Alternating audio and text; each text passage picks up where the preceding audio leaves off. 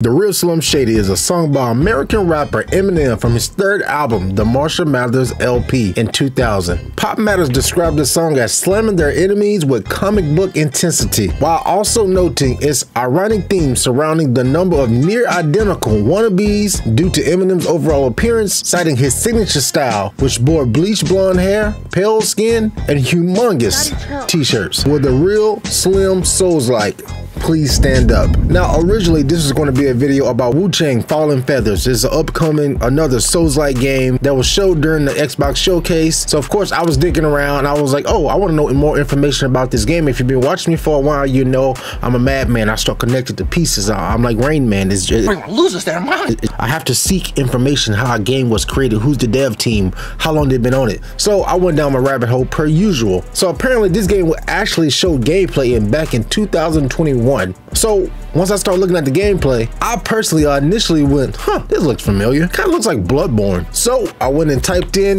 Wuchang Fallen Feathers times Bloodborne, and lo and behold, back in 2021, right when I first started this channel, and I didn't even know what the term Souls-like even meant, there was a big controversy because the identical side-by-side -side comparisons to this game and Bloodborne, how they just blatantly, I mean, blatantly just ripped off all things Bloodborne. I mean, from the sound, from the death animations, from the environments, people have already did side-by-side -side comparisons. Check this out.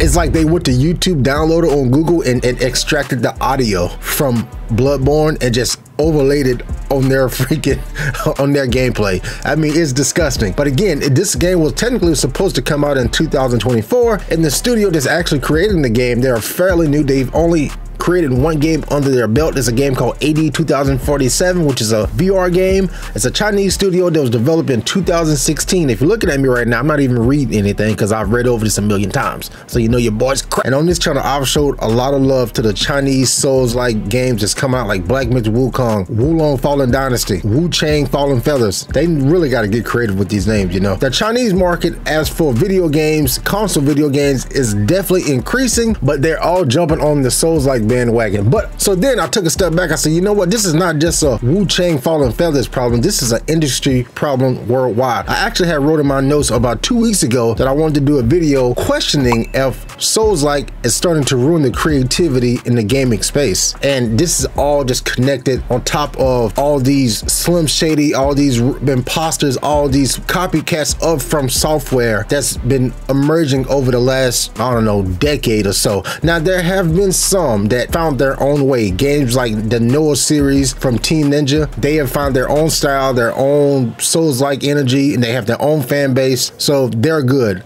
Another game, of P they took the Souls-like formula, kind of flipped it on his head, and made a better version, in my opinion, than what From Software has did with Sekiro and Bloodborne. I know, I know that's blasphemy. What is this guy talking about? Those games are the greatest games of all time. Listen to me. I fought the nameless puppet at the end of that game for two weeks straight, and I'm a bot. I use mimics.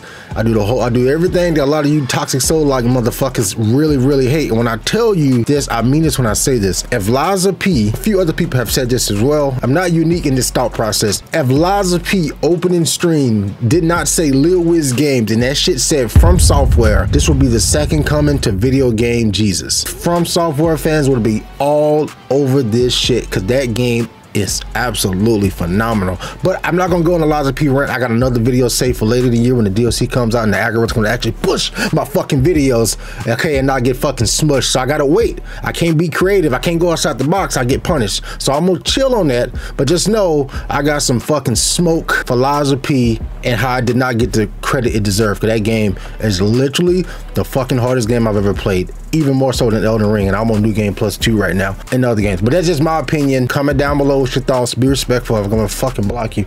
Now, back to Wu-Tang Fallen Feathers. So I would imagine between 2016, them starting development, them creating, uh, them starting development on AD 2047, and in 2021 when they made the initial reveal, even though now they've been rebranded as the first reveal of Wu-Tang, that is incorrect. The first reveal was back in 2021. They had gameplay, as I said, in the entire thing. So I'm guessing between that and like COVID happening, and now Xbox has swooped in, gave them the bag to create their own version of Black Myth Wukong, which Xbox won't be getting till later date. Now, I've always had an issue with plagiarism in video games and just this, this entire internet atmosphere, even with Palworld debuted. So whenever Palworld popped off a few months ago, I was the first one on YouTube to make a video basically detailing how they plagiarized Pokemon in my opinion, but I guess they really didn't took inspiration. The lines get very fucking blurry, you know what I'm saying? Because everyone technically copies everything. I mean, every game now is like what a God of uh, people say God of War type combat, even though third person's RP action RPGs was around way before God of War did it, but not how well they did it. So those lines gets blurry depends on who you talk to. But the problem right now is with Souls like it's saying like people are burnt out on Souls like you you don't know how many times I've saw in the comments whenever we see a new trailer. Please don't let it be Souls like God another Souls like. And honestly, with just coming off this last Summer Game Fest sh showcase, we know when I say Summer Game Fest, that means former E3, whatever you want to fucking call it, Summer Game Fest season because that's what it is. Uh, so many games look so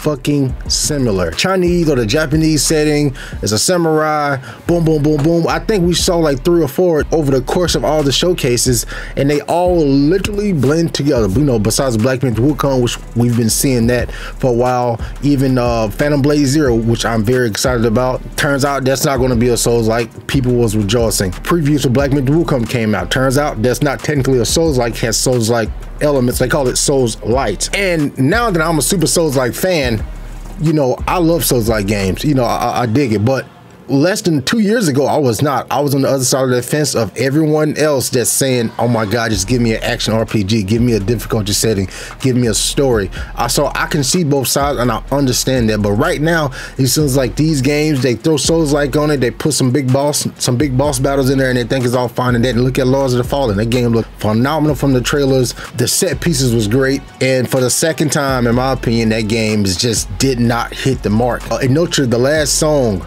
uh, very good concept. It's Italy, so it's like I played the game here on the channel. I gotta pay to play the game here on the channel, and it just still doesn't have a From Software game. That's why it's very difficult to get that shit right because From Software has laid the groundwork for their own genre of gaming. So when you go, when these games go in and try to replicate that, and it's not different to the point that it's good or just completely outshining from software, which nobody's going to do, then it's going to be very difficult. But the problem is right now, I think it's just ruining creativity in games, and it's not even talking about the fucking the battle pass, the live service, and the you know the third person looter shooter, hero shooter games. That's a whole another section of fucking just ugh. We're just tired of it. We're tired of the same genre, and we need need something different. But on the other side of that is when you do get something different, like of P, that's actually good, people sleep on it, you know, because it doesn't say from software. But good news for you all, two of the biggest games that's getting ready to come out, Phantom Blade Zero and Black Myth Wukong, will be accessible to everybody. So for that, I say,